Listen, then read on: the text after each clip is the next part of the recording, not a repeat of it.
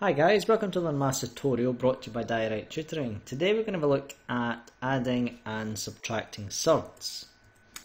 So if we take a quick overview, um, a surd is a irrational number meaning that it cannot be represented by a fraction or a whole number and is usually represented in the form of a square root sign.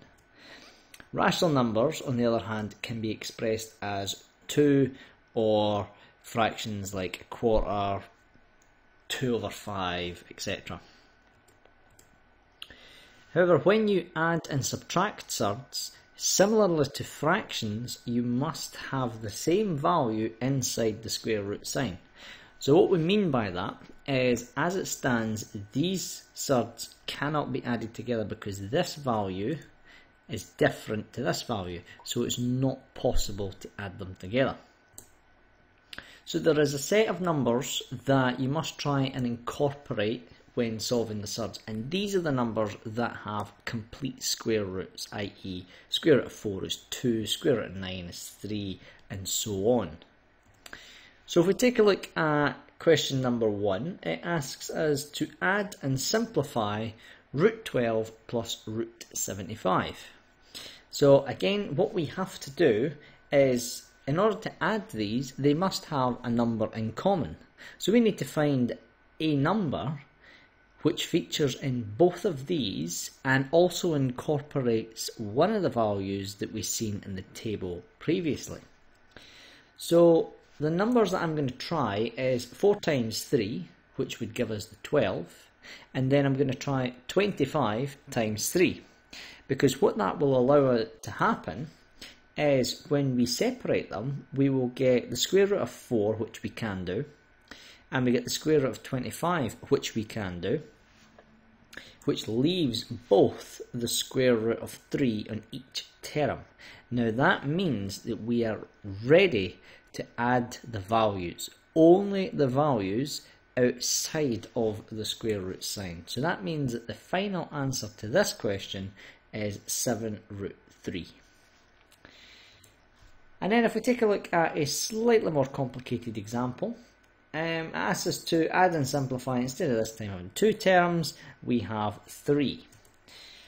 Now, this one looks slightly more complicated, but there is a big clue with this one, and it lies in the root 5 because this cannot be simplified any further. So in order to add the other two or take away the other surds, you must incorporate 5 because they must contain root 5 at some point. And hopefully the other number when we incorporate 5 will be one of the key values that we need to use. So the numbers, of course, we're going to have to use 5. So we'll do 4 times 5 for the first one, but we will take out the 6 here. We'll take the 6 away just now and only focus on the surd. So that's why I've put it into a double bracket. And then likewise with this, keep the 2 out first and then deal with so 9 times 5 and that will give us the 45 when we still incorporate the root 5 and this just stays as it is.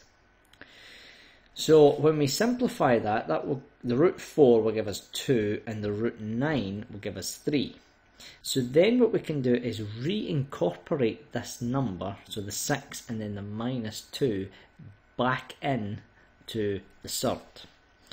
So what happens is this will only multiply the value outside of the surd. It doesn't have any effect on the value inside the surd. So that's why these numbers are color coded in green. So that is where the 12 came from, the 6 times 2, and the minus 6 came from the minus 2 times 3. So now we have the same value under each of the three terms for the square root sign. So that means we simply add the numbers outside together. So we do 12 minus 6 is 6 plus, now there's a 1 here, so that'd be plus 1, so we get 7 root 5.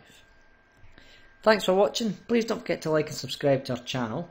Leave any comments in the comment section below, and we'll see you in the next video.